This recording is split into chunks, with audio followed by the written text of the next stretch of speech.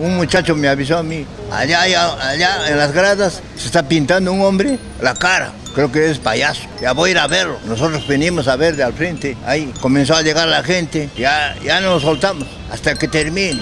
Lo ha hecho, lo ha hecho bien, bonito.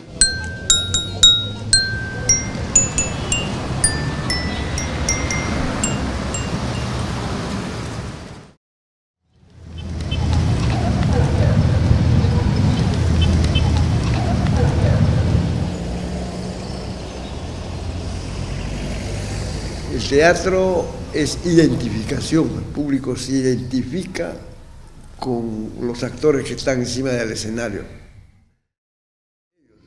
El problema tiene que tener cierta coincidencia con el grupo que forma la platea o el, grupo que forma el público. Entonces se producía una comunión mucho más estrecha.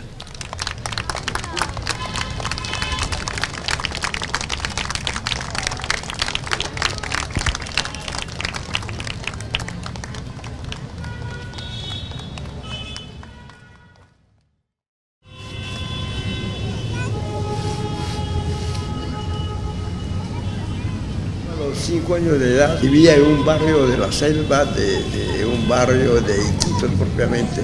De la universidad vengo a Lima. Jean Salazar Bondi me dijo, se acabaron, Jorge, no se va a poder poner más, porque ¿de dónde sacas la plata?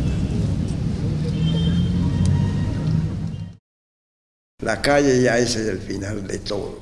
El año Me he criado en una sociedad que piensa así, la calle es el final de todo. 1952 llego a Lima. Pero estaba empujado yo por la situación económica. Yo entonces ya tenía cuatro hijos. Lo primero que hago al llegar a la capital es comprar un periódico y buscar trabajo. Esta necesidad económica fue más fuerte que toda elucubración filosófica. Comencé a pensar en la posibilidad de los monólogos o de los contacuentos que hay ahora. Ahora hay muchos contacuentos. Recuerdo que esa mañana llegué. Y comencé a preparar estas historias en silencio también. Mañana y ya habían 135 provincianos parados a la puerta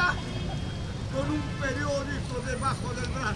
Estar en la Plaza San Martín sin mucho costo es el cuerpo del actor. y-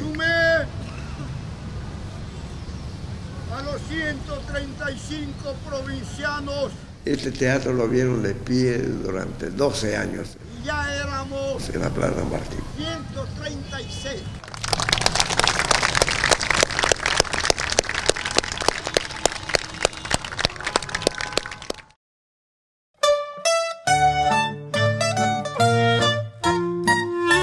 Creo que el silencio es parte de nuestra existencia. Todos tenemos momentos de monólogos interiores, todos también salimos a la calle para romper el silencio de la casa y encontrarnos con los amigos a conversar, por ejemplo. Sí, pero el silencio es mucho más amplio, creo yo. El silencio está bien en algunos momentos, pero el silencio puede ser una traición, una cobardía, pero puede ser también una prudencia. A veces te callas para no llevar el conflicto más allá. Un actor que no conoce el silencio nunca será un buen actor.